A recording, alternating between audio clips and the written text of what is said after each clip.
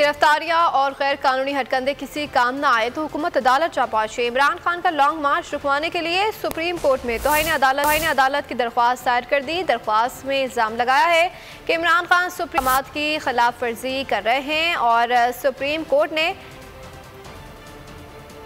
इमरान खान को पुरमन एहतजाज की इजाज़त दी थी। इमरान खान फिर इस्लामाबाद पर चढ़ाई के ऐलान कर रहे हैं। दरख्वास्त में कहा गया है कि सुप्रीम कोर्ट इमरान खान को एहतजाज और धरने के हवाले से अपने अहकाम पर अमल दरामद यकीनी बनाए। अगर आपको हमारी ये वीडियो पसंद आई है तो लाइक पर क्लिक कीजिए।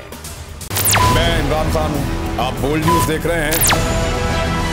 बड़ा चैनल बोल सबसे बड़े एंकर इमरान रियाज खान। के प्रोग्राम इमरान खान बोल के साथ ने रेटिंग के तमाम रिकॉर्ड तोड़ दिए। छप्पन फ़ीसद नाजरीन ने बोल न्यूज़ को देखा सोशल मीडिया पर भी सबने ज़्यादा देखा।